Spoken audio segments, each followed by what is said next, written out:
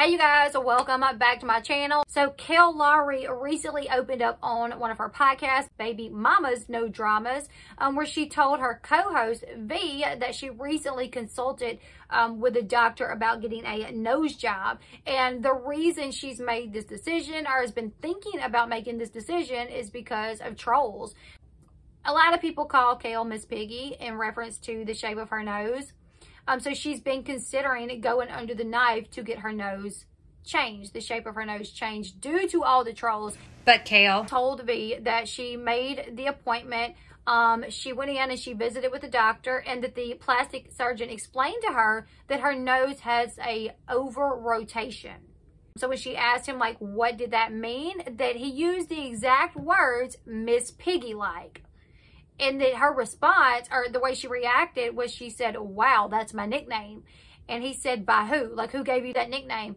And she told him that the trolls, the trolls on the internet has given her the name of Miss Piggy and that that's what they call her.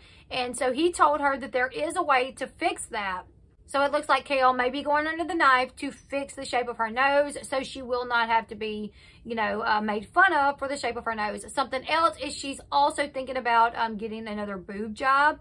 She said specifically a reduction and a lift on the podcast, she said that um, she don't know why people think that she got her boobs done when she went to Dr. Miami, but that wasn't part of her mommy makeover. And today, she's got one boob that's literally like three cups smaller than her other boob. That's a big difference. I'm sure most of my viewers are, are female, so they know that, you know, one boob is usually a little bit bigger than another boob, but three cup sizes, that's a lot. That's a big difference, right? That's a big difference. So I could see, honestly, I could see why Kail would want to have both surgeries.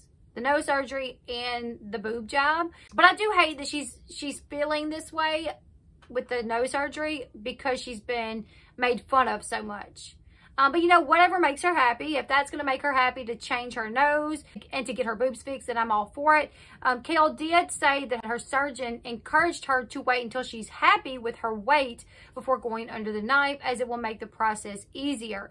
So I'm assuming she's going to try to lose a little bit of weight before she goes um, under the knife for her nose surgery and her boob job. You guys leave me your thoughts in the comment section below. What do you guys think about Kail making the decision to get her nose done? Based off mean comments online. Let me know what you're thinking. Give this video a huge thumbs up. Subscribe to the channel if you haven't yet. And until next time, I'll see you guys later. Goodbye, everyone.